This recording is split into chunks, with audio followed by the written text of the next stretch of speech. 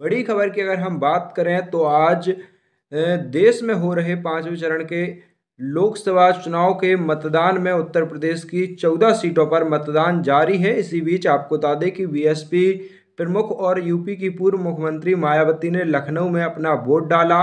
मतदान के बाद आपको बता दें कि बहन जी ने मीडिया से बातचीत में कहा कि सभी राजनीतिक दलों से विकास और लोगों के कल्याण के मुद्दों को प्राथमिकता देने का आग्रह किया। वहीं आकाश आनंद को हटाए जाने के सवाल पर बहन जी ने कहा कि वह इस बारे में पहले ही सोशल मीडिया पर बता चुकी हैं। अब इस बारे में कुछ नहीं कहना चाहती हैं।